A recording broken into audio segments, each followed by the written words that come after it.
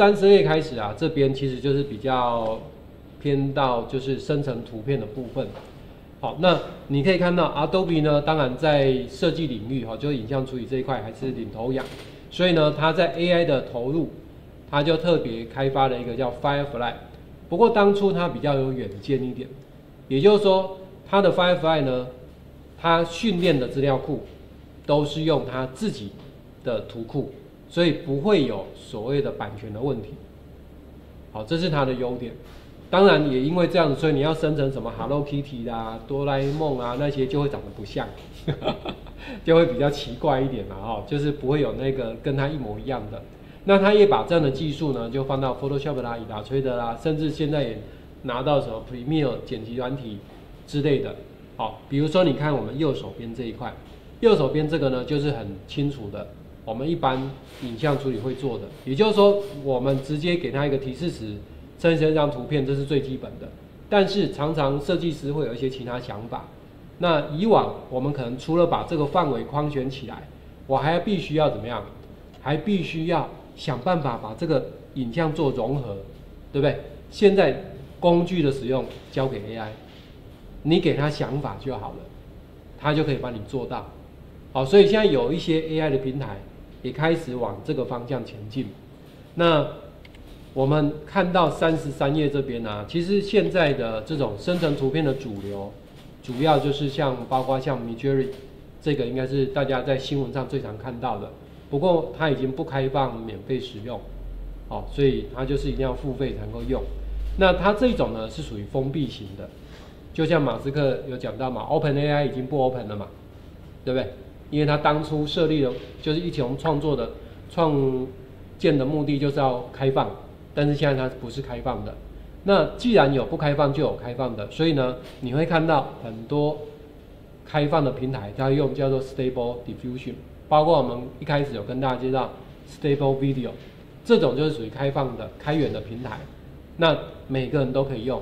所以现在呢，最近也有很多台湾的一些研究机构啦，哦或者公司，他们有试出所谓台湾版的大型语言模型。但是各位，他们都不是从零开始做，他们怎么做？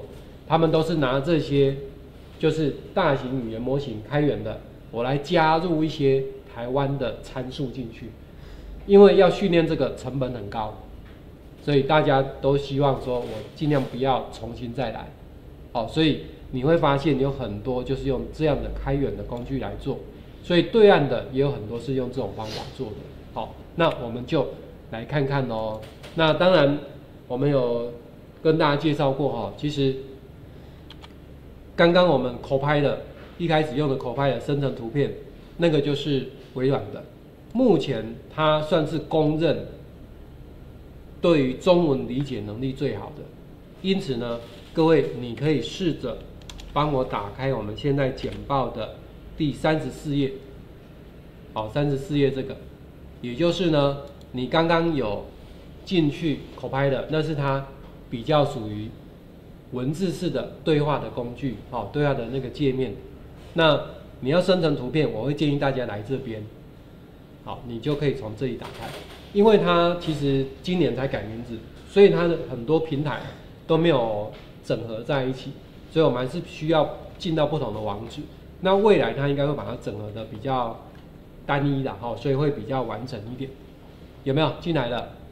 你刚刚也有登录那个微软的账号了，所以应该这个账号会直接看到。如果没有，你就直接登录哦。它有一个那个粉红色的开始创作，你就按下去，再点一下使用一般账号就好了。这样 OK 吗？这个在网址在简报的这里三十四页这边。好，这里有一个官方网站。你可以直接复制，就把它放进来。好，那线上的老师和同学的话，我会把这个网址丢给你。好，因为他对中文理解能力很很高，所以我觉得其实大家就可以试看看。好，那你一进来之后呢，下面这边有一些 sample，好，你就划过去就可以看到那个提示词。那如果呢你要生成图片，当然你的提示词就可以直接打在这里。好，我们有讲过，它一天就有十五个加强型的点数让你用，每生成一张就扣一点，超过了生成速度比较慢一点，但是还是可以怎么样？还是可以生成。好，好，有没有都登录了？都有了。那我们从简报三十六页来看一下喽。简报的三十六，三十六，有看到了吗？嗯，最近有没有感觉黄金贵很多？没关系，我们自己来哈。你有缺黄金，有缺美金的，你看，从三十六页开始到大概三十呃四十二页左右，我都在给大家分享一下这个一些语法。其实我们在学校，我现在都会给同学一些主题啦。啊，以我现在这个来讲，这个主题就是袖珍屋，就是我们讲的那个缩小模型。好，缩小模型。那我们一般这里很像在写作文，也就是说，其实你最简单的，先不管你要怎么讲，就是你要它生成图片，哎，比如说你要什么样的场景，你里面有没有什么主角，哦，什么样的主体，可能是人，可能是动物，也许是一间房子，都有可能。那有做什么动作？那这个图片的风格是什么？好，你都可以给他。当然，这不是必备的。你今天没有给他的，就是由 AI 自由创作，这样了解。所以如果像我们这个这两个，我就很单纯，只有给他场景，就是我要用黄金打造的袖珍屋，那你就可以像这样点两下，好，我就把它复制起来，我把这个提示词拿到这边贴上。哎，没有吗？哦，来，好。复制好，贴过来，你就送出。好，那这样子呢，它就在这边生成，有没有？马上扣一点。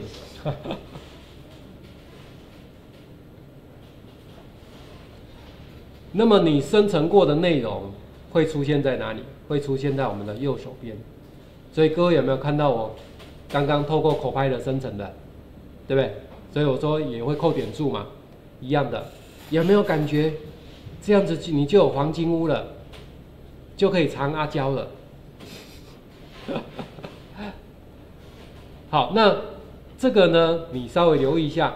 我们放在口拍的生成好之后呢，它预设会放在我们的右手边，就是这些所谓的最近的。可是最近的总有可能变成过往的吧？好，过去式嘛。也就是说，你超过它这个内容。可以容纳的就会不见，因此如果你有你特别喜欢的哪一张图，麻烦大家一定要记得做一件这个事情，叫做储存。储存，也就是说你点进去之后，你把按下储存，那它会帮你存在云端。好，你看滑鼠滑过去，它就会帮你放在这个集锦里面。好，集锦就是我们的资料夹的概念。你如果没有做这件事情，那下次超过那个列表最近的那个列表之后，你就会找不到。目前呢，我们的 Copilot 它帮我们生成的图片的尺寸是一比一的，一零二四乘一零二四。那目前国外呢也有一些就是有开放的哈，就是可以生成其他比例的，只是暂时我们这边还没有。那你如果认真一点，应该会在左下角会看到，它会有一个内容。的那个浮水印哈，就是用 Copilot 生成的，左下角很小一个，好，它叫做内容认证。可是有有时候你看不太出来，所以这个因为现在它一般来讲，这种 AI 生成的这种浮水印的部分哦，还没有统一标准，所以每一家都不一样。这样有没有了解了？可以哈，所以最简单的你可以像这样用。那你也可以像我在这个三十九页这边啊，你看三十九页这个，这个呢是我们以前录影的时候有朋友喜欢玩的，就是用手机，然后呢用那个灯光开那个灯光，你只要变成长时间曝光就可以写字，好就可以写字拍下来。可是要成功不见得那么容易，对不对？这个叫 AI 来做比较容易，所以你看。我的场景是在什么中式庭园，然后主体是一个女小可爱的女生哈，然后她的动作就是用仙女棒去做这个，那它的风格就是跟照片一样的，所以其实关键字是哪一个？是这个，叫做 light painting，用灯光写字。今天你知道这个关键字，你就可以用这个关键字给他，那这样子呢，生成的效果就会比较好。如果你没有这个关键字，你生成的效果就会比较差。所以其实这个就好像我们在做什么写作文，不是有佳句名言吗？对不对？你就可以稍微记录一下。好，那这样下次呢，你要做的时候就比较容易达成你想要的效果。所以如果这边你想要变成小男生、小女生，很像以前国小的时候在做什么，做那个造句填空，对不对？你就知道关键字之后，你把你的内容换掉，那你就可以生成比较符合你的需求。当然这些都可以改，只要你关键字保留下来，你就可以得到很不错的效果。所以这个部分大家都可以试看看哦。好，有没有？你看。其实我们真正实物在做的时候，你要画出一条龙，刚好扣脸，太难了吧？我们要写字就不简单了哈。好，那刚刚这边呢，有老师好像在问一个问题。对，哎对，现在有老师提到它可以生成十六比九的，没有错哈。但是那个好像还没有开放给我们，就是那个中文的。主要还是在英文的部分哈，就在这边哈，有郑老师有提出来哈，这样有没有问题？可以吧？哎，所以你可以再往下走，像如果你想要做赖的贴图，也可以用简报四十页的这样子，当然四十页生成的图会比较小，所以你还还要把它裁切出来放大，好，但是呢，这个有个好处就是它都是用同一个去做的，有没有都是同一个主角？你你看，同一个台湾男孩展示各种情绪的这个表情，对不对？那这边呢，它可以生成英文单词哦，也就是说，在图片里面直接把这个英文写出来。好，但是如果你要它写中文，很抱歉，它就不行了。应该说象形文字它都不行了，所以它主要能够写英文跟数字。好，你看哦，我就把这个内容把它复制起来。好，OK，那我们来试看看，到这边，好，你如果不要男生，你就把它改女生，这样也可以，把它贴进去，女生，好，建立，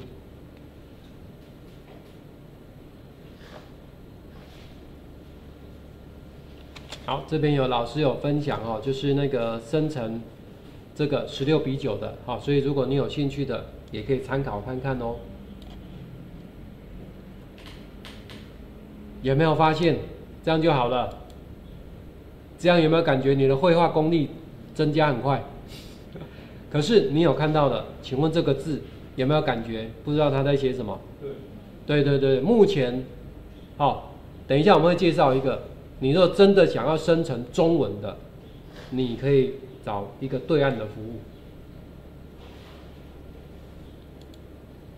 这样有没有感觉都是同一个角色，对不对？但是不同的表情，不同的这个情绪，好，你就可以把它拿出来，这样 OK。事实上，我们在那个，在那个什么，在 Canva，应该同学或老师应该都有在用 Canva 的嘛？Canva 也有类似的功能，因为它也有 AI，好，只是 Canva 生成的这种结果算是比较中等啦，不是最差，也不是最好。那目前生成最好的，其实应该就是我们的这个微软的这个口拍的。好，那各位，我给你看一下简报四十二页，四十二页就是我真的把那个写出来。你看，我要求他帮我把这个字招牌写着 Happy New Year 二零二四，有没有看到生成的结果里面就有这个？这样你理解了吗？所以你要它生成英文，在图片里面或者数字，这个是做得到的。当然不见得都会成功，哦，但是它是可以完成的，可是要生成中文就会比较难一点。这样有看到咯，哈，所以像这个提示词，你记得你要写什么，你可以用双引号把它挂住，这样它会更清楚你要它写的是什么内容。好，好，那你看我就把它贴上去喽，让它建立出来。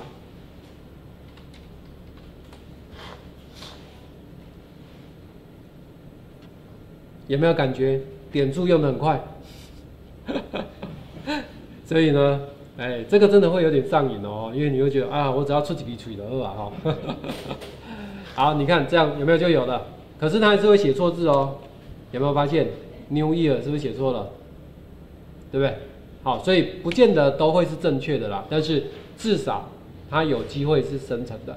那最后最后，我来这边跟大家介绍一个对岸的服务。在下面这里，哎，啊，那个我拿掉了，好，算了算了。最后我们稍微比较一下了哈，在这里，就是说，如果各位呢，你有兴趣想要玩玩看的，我把我们比较常用的几个这种 AI 生成图的平台做个比较。第一个就是 Adobe 的 Firefly，Firefly 它有中文，可是 Adobe 都比较抠一点，它只有一个月二十五点，各位是一个月，不是一天哦，哈。所以一天不到一点而已，像我有付费的，就点数有五百点啊，但是我一个月要交六百四十块，你愿意吗？好，那再来我们 Copilot 就十五点，好，那 Canva 呢一个月有五百点，就是老师跟同学，如果你用教育版的就有五百点，好，那这个 Ideal Green 也不错了哈，就是有二十五点，那 AnyText 就是我讲对岸的，它是阿里巴巴的，好，开发的一个。线上的等于说有人把它做成放在一个公开的一个测试平台上，那这个就没有限制哦，你你就看它的流量这样子。那目前呢，大部分你如果要生成英文的，大概就是 Firefly 啦、Copilot 这些都可以，Ideal Green 也可以。好，那 AnyText 当然也可以，Canva 就比较难，它有时候有，有时候没有，所以这个我就把它先设为否。那比较特殊的就是生成中文。Firefly 可以生成中文的字，但是它就只有字。好，但是呢，我们其他平台都不行，只有 AnyText，它可以直接在里面生成中文的字，这算是比较特殊的。所以你就知道为什么美国会对大陆这个 AI 晶片想要控制它，因为它们有它厉害的地方。AnyText 是大陆的。对，但是这个部分其实可以用，可以用。哎，它有一个平台是。台湾就可以用的，好，你如果有兴趣的，呃，我下课再把那个网址跟大家分享一下，就是我有写一篇部落格文章介绍哈，这样 OK 吗？可以哦，就是跟大家分享一下，好，